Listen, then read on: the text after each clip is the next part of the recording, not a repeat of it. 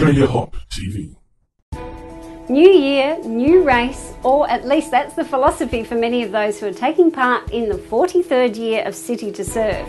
The long distance running event that takes place this year on August 11th will see contestants run 14 kilometres from the Sydney CBD to Bondi Beach.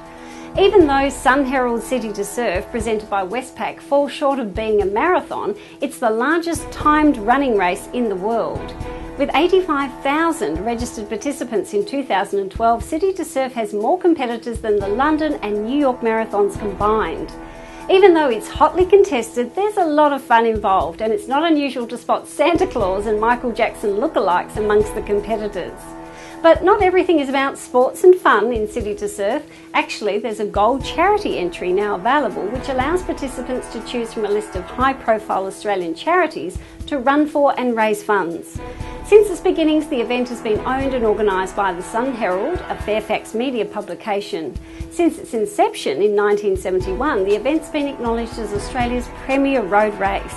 So, time to get in training, all you mad runners and thanks for watching Australia Hop TV. Australia Hop TV.